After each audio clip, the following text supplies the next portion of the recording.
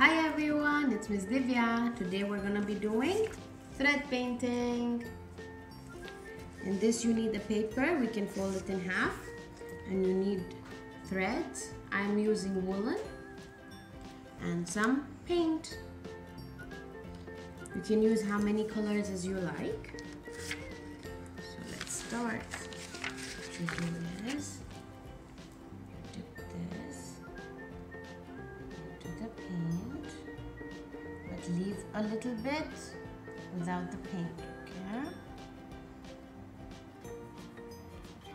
Ooh, can you see?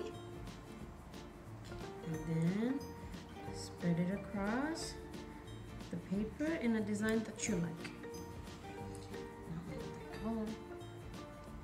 You can do it one by one.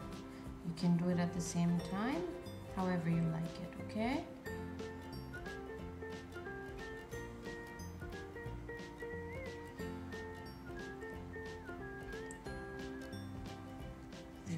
Do is fold the ends, close the paper,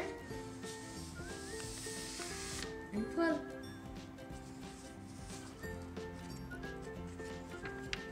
There you have it.